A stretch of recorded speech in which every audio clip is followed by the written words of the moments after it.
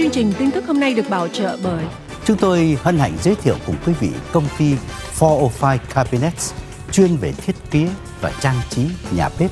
Chin và Kim Thu Jewelry, nơi duy nhất bán vàng 4 số 9 có in hình bản đồ Việt Nam 714 985 9999 và 714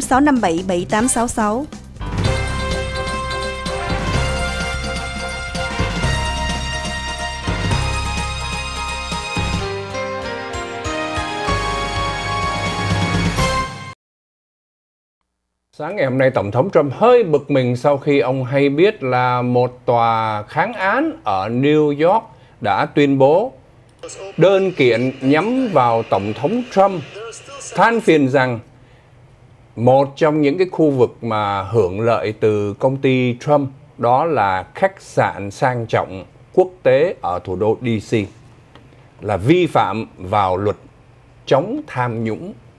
À, một nhóm à, bao gồm uh, Citizen for Responsibility and Ethics in Washington. Đây là nhóm công dân cho những hành động đạo đức và trách nhiệm. Họ kiện Tổng thống Trump nói rằng mặc dù ông làm tổng thống và đã tách rời cái vị trí làm chủ nhân của các công ty của ông nhưng mà đồng thời những cơ sở thương mại trong công ty của tổng thống Trump vẫn tiếp tục mang lợi và ông có những cái khuyến khích để những người này giống như một hình thức hối lộ một cách gián tiếp thưa quý vị. À, tổ chức này nói rằng à, khi mà tổng thống làm ở đây đó thì ông lại khuyến khích những ai mà đến DC đó những cái lời bông đùa thôi như là tổng thống Trump hay nói đó à, quý vị cứ ghé vào đánh sân golf của tôi hoặc là ở khách sạn của tôi những cái câu nói đó nhưng mà đồng thời người ta à, giải thích như thế này. Trong thời gian qua những nhóm vận động hành lang ở DC muốn đến gần với tổng thống Trump thường họ chọn cái khách sạn của tổng thống Trump ở trên đường Pennsylvania ở thủ đô DC này. Và khách sạn rất sang trọng. Và những người này vào đây á, hào phóng lắm. Họ chi mấy chục ngàn cả trăm ngàn mỹ kim để ở đây một tuần trong lúc vận động hành lang để mà tìm gặp gỡ các giới chức của tổng thống Trump. À, Trước đó, thưa quý vị, một quan tòa liên bang đã bác đơn kiện này. Họ nói rằng cái nhóm đơn kiện Citizen for Responsibility and Ethics á, chẳng có chứng minh được là thiệt hại tài chính của họ là gì cả.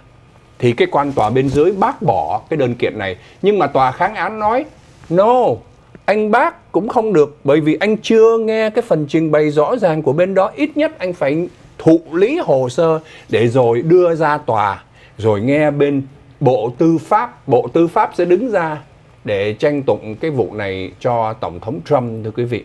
Cho nên tòa kháng án nói rằng họ không có bác bỏ gì hết nhưng mà họ nói yêu cầu là cho hai bên được ngồi xuống ngay ở phiên tòa để trình bày cái quan điểm của hai bên. Tại sao nói rằng ông Trump có à, à, bị ảnh hưởng đến cái luật lệ liên quan đến chống tham nhũng?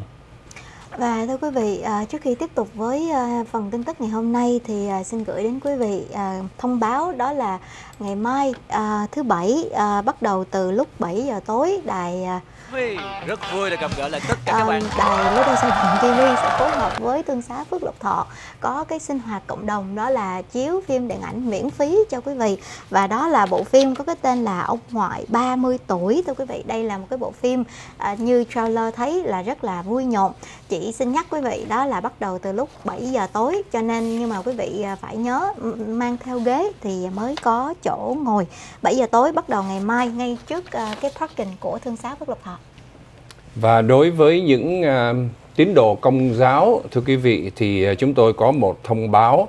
Uh, nhân dịp kỷ niệm 350 năm dòng bến Thánh Giá sẽ tổ chức thánh lễ khai mạc Hồng Ân 350 năm do Đức cha Kevin Van, giám mục địa phận Orange chủ tế vào ngày thứ Bảy 14 tháng 9 lúc 10 giờ sáng tại nhà thờ Chánh tòa Chúa Kitô Christ Cathedral Garden Grove một thánh lễ rất lớn và trong nhà thờ mới tinh nguyên rất đẹp thưa quý vị.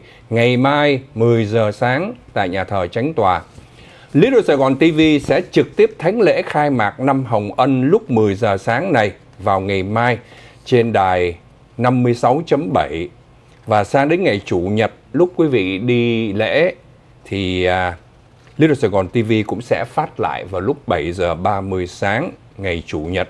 Nếu vì lý do quý vị không xem được vào ngày mai lúc 10 giờ sáng, quý vị vẫn có thể xem lại được vào 7 giờ 30 sáng. Nhưng mà xem live hay hơn. Dạ. À, và thưa quý vị, và mới đây một người phụ nữ ở tại à, Sacramento vừa mới phải à, nhập viện sau khi mà bà này à, phát hiện là cái kem dưỡng da bà xài có chứa chất uh, methyl mercury là một cái chất Oh vô no. cùng độc hại. Um, gia đình đã uh, gửi cái hũ kem này cho um, cơ quan y tế ở tại Sacramento và cái vấn đề ở đây đó là cái hũ kem này được uh, đóng gói bởi công ty Pond's. Uh, bà này bà mua từ một cái network mà uh, lấy từ lấy Oh hàng từ no. bên Mexico qua Ờ, nghĩa là Pond họ có ờ, có thể là những cái người phân phối ở bên đó thì có thể là bà lấy cái hàng giảm giá nhưng mà không hiểu vì sao cái sản phẩm này của bà lại chứa metal uh, mercury thưa quý vị. Bà nói rằng bà đã mua như vậy 12 năm nay không uh, có thể trước đây không bị nhưng mà không hiểu là sao thời gian này phát hiện ra là bà bị uh, dính mercury vô người.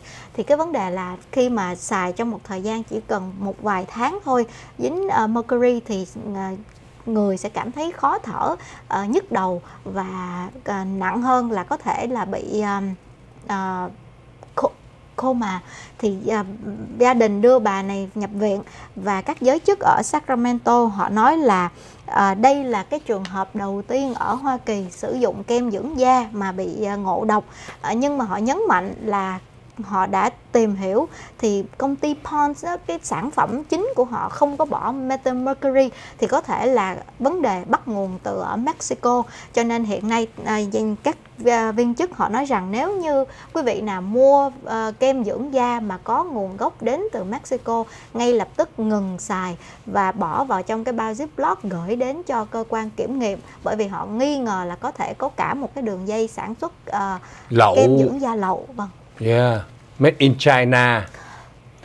À, chiều hôm nay lúc 5 giờ 45 phút chúng tôi có câu chuyện thời sự trong tuần để bàn về những vấn đề nóng trong tuần qua, đặc biệt đó là vấn đề của Afghanistan sau khi Tổng thống Trump sa thải ông Cố vấn an ninh quốc gia John Bolton.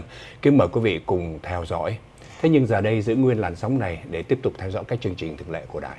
Kính chúc quý vị một cuối tuần thật nhiều niềm vui bên gia đình. Hẹn gặp lại vào chương trình lần sau.